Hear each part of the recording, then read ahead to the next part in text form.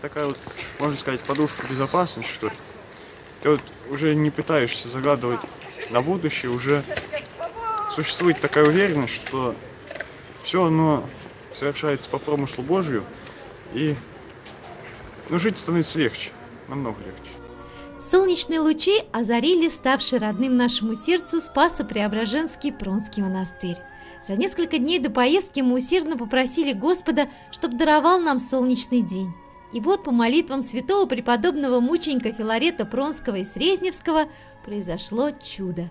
В череде унылых, серых и ветреных дней уходящей зимы и наступившей весны выдался один, да какой, удивительно яркий, насыщенный и благодатный, такой, что даже монастырские кошки катались и жмурились от удовольствия, не стесняясь проходящих мимо людей на подогретой солнцем тротуарной плитке. Скажу честно, день такой был, что душа ликовала, а благодать переполняла до краев.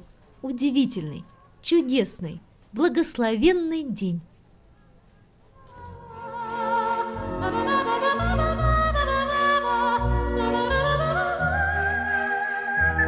В день памяти преподобного мученика Филарета Пряхина, уроженца села Чулкова Пронского уезда, в Спасо-Преображенской обители совершилась праздничная божественная литургия. Ее возглавил настоятель обители игумен Лука. Ему помогали студенты-первокурсники кафедры теологии Рязанского государственного университета имени Сергея Александровича Есенина.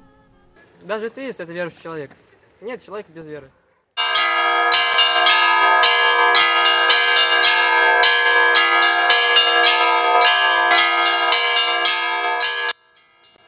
Здесь, в Пронской обители, что вы чувствуете, что вы здесь получаете и почему вы сюда приезжаете? Храм, дом молитвы наречется. А здесь я чувствую, чувствую себя частью этого храма, дома и этой молитвы. Благодать, ради благодати. Я сюда приезжаю, ну вот, чтобы, не знаю, как-то подзарядиться. Ну вот, сюда, в общем, ехать не особо так близко, особенно с Рыбного, это часов в 5 утра вставать, ну, ладно. Вот. И молитва, она сама по себе очень хороша, но когда ты вот берешь еще подвиг к этому, вот, допустим, ехать сюда далеко, так, Вот в радость не становится, да? да, Ну вообще здесь хорошо, правда? Да. Вот ш- Особенно вон там, вон, вон там. Да, на том месте. где крест? Да, Любите то место? да, там Очень. еще летом розы были, было очень красиво. Да. Благодатное. Представляете, вот когда он весь уже благоукрасится, восстановится, какая здесь будет красота. Да. Да, мы очень ждем. И стараемся способствовать этому как можем. Подомарим. Поднамарите, помогаете, в общем, да? Да. Ну и молитесь, наверное, Да. да? И за батюшку молитесь. Это первым делом. А вы? Конечно, обязательно. Бог Богу. вам помощь. Спаси Господи. Спаси Господи вас, дорогие Спасибо. ребята. Бог даст еще встретимся и не раз. Да. И не на Пронской, вообще на святой Рязанской земле. Аминь.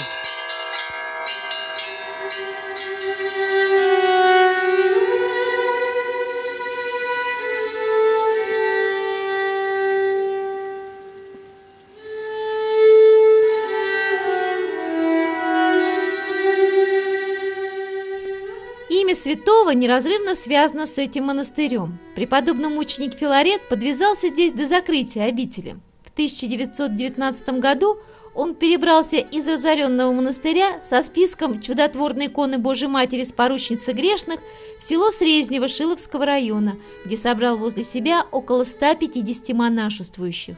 Службу отец Филарет проводил по монастырскому чину. Оттого наплыв богомольцев в село Срезнево Шиловского района был великим, чем было и вызвано недовольство советской власти. Среди религиозно настроенных крестьян он пользовался особенным авторитетом, слыл за святого. Дважды арестовывали игумена Филарета. Последний раз в 1939 году он был сослан в Сибирь, под город Мариинск. В одной из последних весточек отец Филарет писал своей духовной дочери. «Дорогая моя, вот уже исполнился год, как меня посадили на колесницу Израилеву. Родные мои, напишите письмецо. Напишите хоть три словечка. Больше ничего. Если жив буду, то спустя полгода еще напишу. Божья милость да будет с вами. Простите, помяните.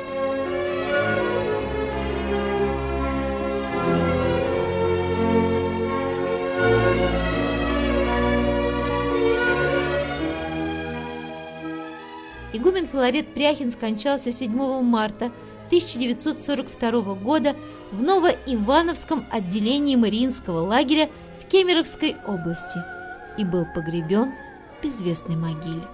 Заседанием Священного Синода Русской Православной Церкви от 12 марта 2002 года игумен Филарет Пряхин прославлен как преподобно-мученик.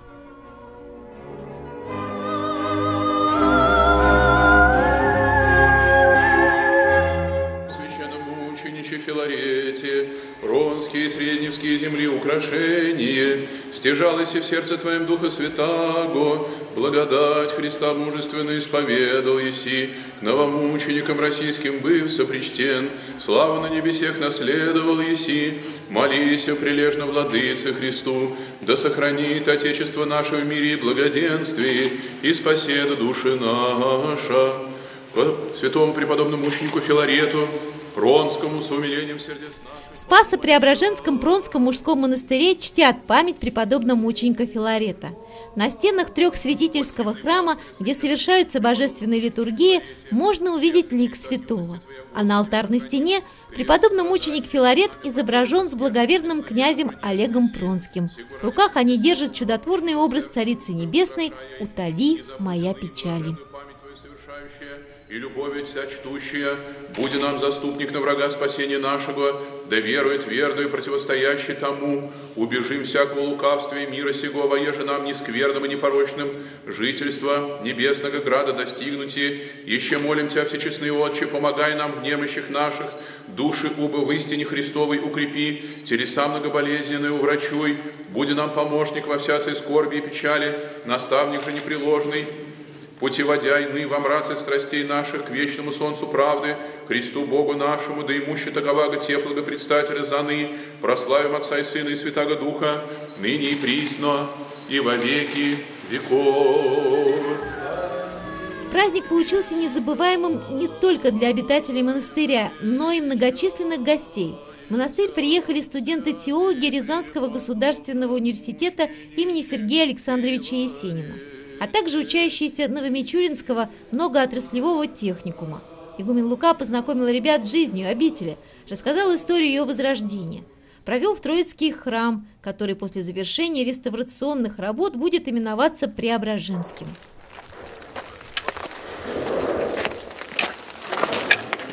Вот, друзья, видите, здесь э, восстановление этого собора связано с э, очень непростой работой по обтачиванию кирпичей. Э, видите, была архитектура не затейливая, но тем не менее очень колоритная. Э, вот эти своеобразные э, срезы, такие архитектурные малые формы, которые ну, создавали красоту вот этого э, стиля древнего. Вот пришлось это все делать заново, потому что практически все было разрушено. Э, Вот, и теперь мы уже можем даже, э, во-первых, все окна такие, двери восстановлены. Не двери, а вот проемы еще, двери еще сейчас делаются. Тоже, я думаю, помнят богослужение священномученика Филарета и братья до разорения этой святой обители. Э, Ну и вот теперь э, уже видите, есть своды, есть алтарная часть, можно увидеть целью, амбон. Скоро здесь появится иконостас. Э, Вот труженики сейчас совершают э, строение кровли этого здания. Пока на территории монастыря действует один из трех сохранившихся храмов – двухпрестольный во имя трех святителей – Василия Великого, Иоанна Златоустова, Григория Богослова и мучениц веры, надежды, любови и матери их Софии. Но недалек тот радостный момент, когда будет освящен еще один храм – Троицкий. Игумен Лука поделился радостью последних дней, рассказал об освящении креста возрождающейся святыни обители, которое произошло 3 марта и воздвижение его на Троицкий храм на следующий день, 4 марта 2019 года. какие престолы были? Престолы вообще здесь был храм Троицкий, вот это был центральный предел Троицкий, а два маленьких предела было в честь преображения э, Господня и Успения Пресвятой Богородицы. Но в связи с тем, что монастырь сам Преображенский, а у нас нет Преображенского престола, хотя была маленькая домовая церковь, которую вот мы с вами видели на фотографии, то поэтому по благословению Владыки все-таки собор будет восстановлен как, сейчас восстанавливаем как Троицкий он был, но будет он Преображенский. Потому что нам нужен Преображенский храм как э, место для э, праздников престольных, и он будет, этот храм, мы думаем, с большой папертью. Паперти – это та часть храма, которая находится на западе, снаружи. Ступенечки, такая, такое какое-то место. И мы на нем сможем служить на преображении на улице.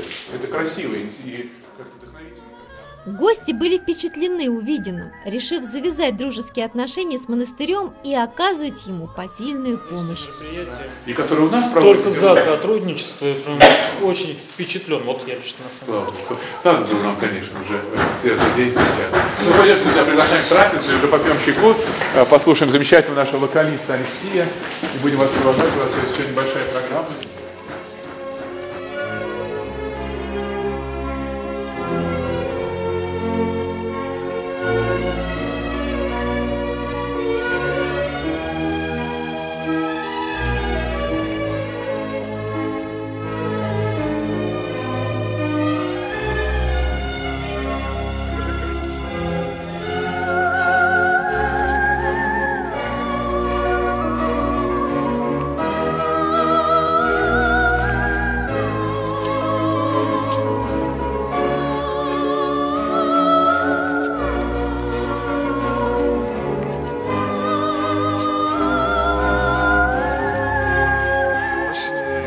Событие. Спасибо всем э, участникам, хочу отметить, э, и поблагодарить, э, поблагодарить Юрию Анатольевну за такую красивую поездку.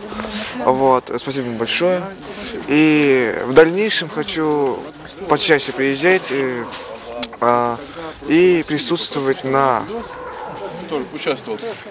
на Богослужение на богослужении, да, и на службе.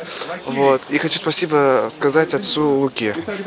Спасибо. Но сегодня, да, что-то вот такое произошло в душе от того, Да, что вы здесь ощутили, да, да, да. Немножко как-то вот изменился взгляд на мир.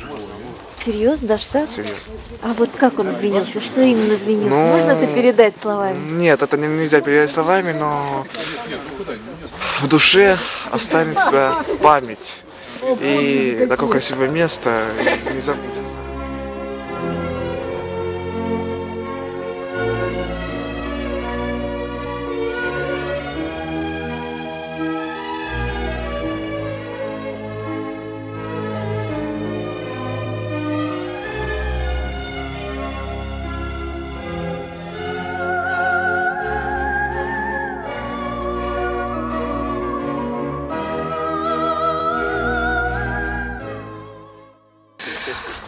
Сейчас, если вот так посмотреть, ну, больше все равно ребята ориентированы, да, на какие-то вот, ну, внешние атрибуты, телесные какие-то, да, вот эти все удовольствия.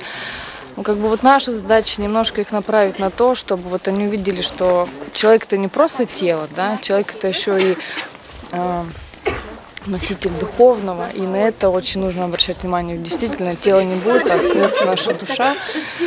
Вот всеми силами пытаемся как-то детей ориентировать, чтобы все-таки они задумывались. Изменить в один миг мы, э, в один миг мы их не можем, да, но вот какую-то частичку в них положить, может она раскроется через пять лет, да, может при какой-то ситуации они вспомнят, что можем прийти сюда, что здесь их ждут, э, и так далее. Вот мы приезжали уже в этот монастырь, но тогда не было э, отца Луки. Ну вот и сегодня, конечно, все его слова, ну и вообще вид такой, да, вот именно батю такого монаха, а, очень нас поразил. Ну, я, наверное, от всех скажу. И у нас как-то сегодня получилось, что э, де- девочек мало, потому что у нас сегодня праздник, и в основном все девочки задействованы. Вот, поэтому я думаю, не случайно и мальчишки сегодня вот были в нашей группе. А, Им, я думаю, что останется большое впечатление и вот именно день, даже день, если посмотреть на погоду, насколько он яркий, солнечный, и вот э, думаю, что таким у них останется.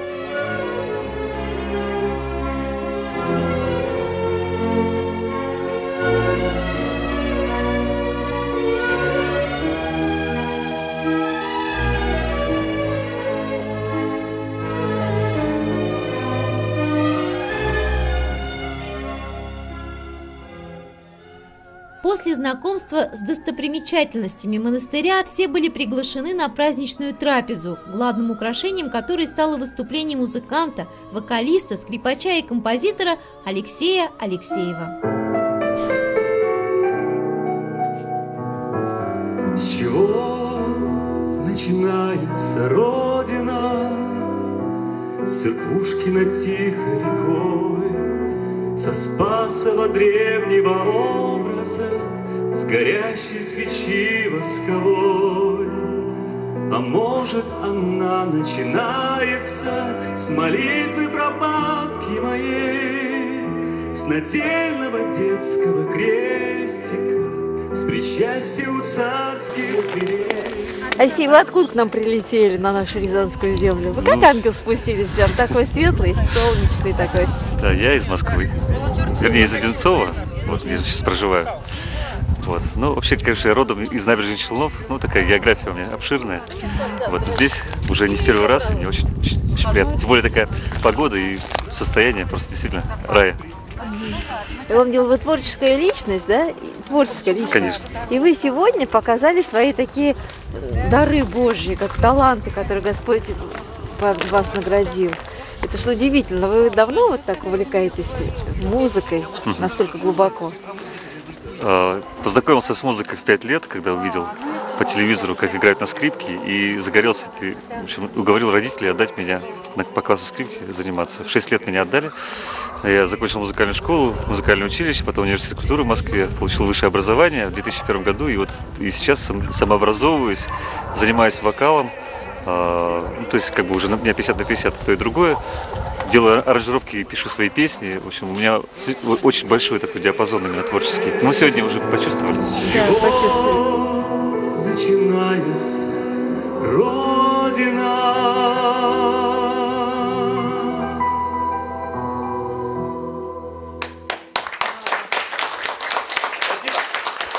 Я обещал, что к скрипке мы вернемся, и сейчас для вас прозвучит одно из самых известных произведений, которое написано для скрипки «Чардаш Монти». Thank you.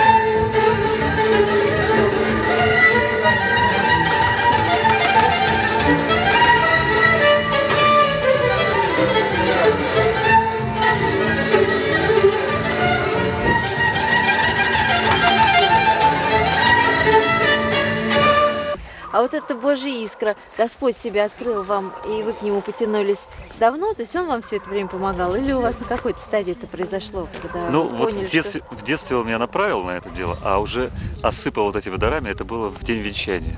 Это было ровно 20 лет назад, почти 20 лет, как мы повенчались с супругой. И вот в этот день я прям ощущал, что вот Господь меня осыпал этими дарами, и у меня пошло какое-то восхождение. А по- после встречи с отцом Артемием Владимировым, после нашего такого творческого взаимодействия, а, уже пошел взлет, творческий взлет. Вот продолжается и по сей день, и вы сегодня уже свидетели этого всего. Друзья, смотрим все внимательно сюда. Это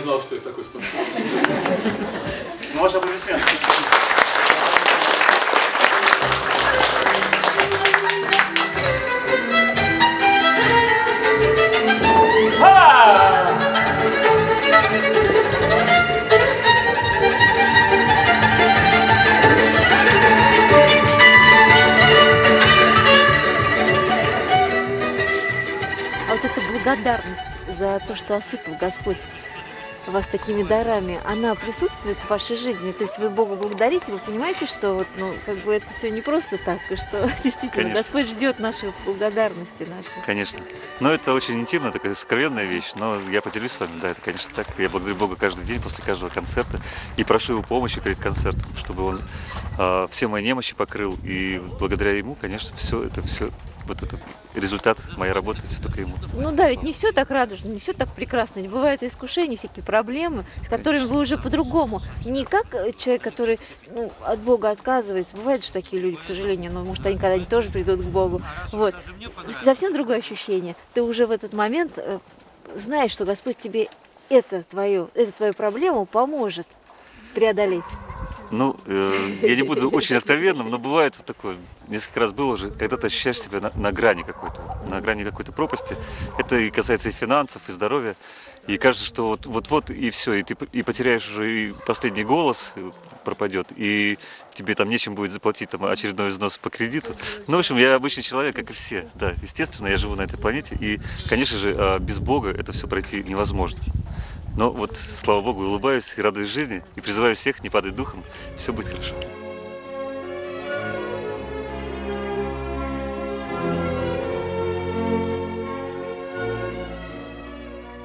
которую вы услышите, называется «Долгая дорога в дюнах». Я исполню ее сразу на двух скрипках. Сначала будет классическая, а потом не классическая. Ну, все сегодня для вас. Еще раз с праздником и всем хорошего настроения.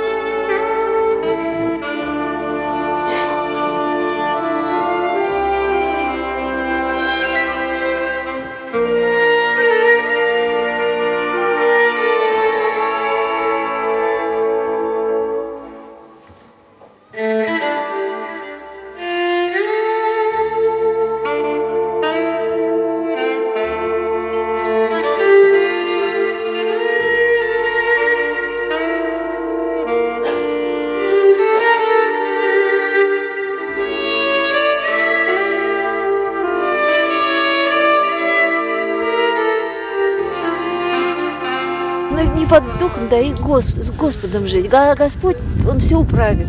Просто да, вот именно что. Есть люди, которые в отчаянии падают и уже не, не выпадают из этого состояния. А с Богом, когда ты живешь, то Господь потом и поднимает вот это все. Чтобы, Конечно. чтобы глядя на вас, люди видели, что вот, как Господь являет свою милость вообще на вас.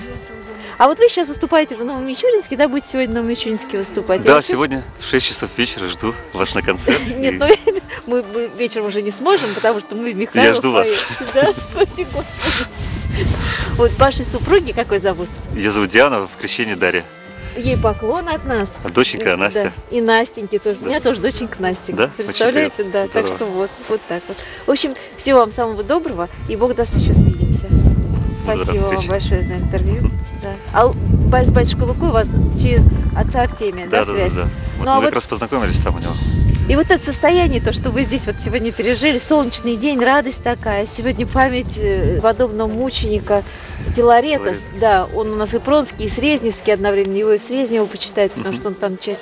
И вот эта вот благодать, она ощущалась сегодня, какая-то радость была, я не знаю, мне сегодня вот все, бывают какие-то мысли, да, входят в голову, а сегодня какая-то радость. Ну, да, и вот это радость, так- солнце, оно как-то подтверждало эту радость, да, вот как-то оно помогало ощутить эту благодать. Была какая-то легкость, какое-то светлое было сознание. Хотя на клиросе было петь тяжело, потому что мы как бы так расходились постоянно. Но вот радость не покидала даже в этот трудный момент. Слава Богу.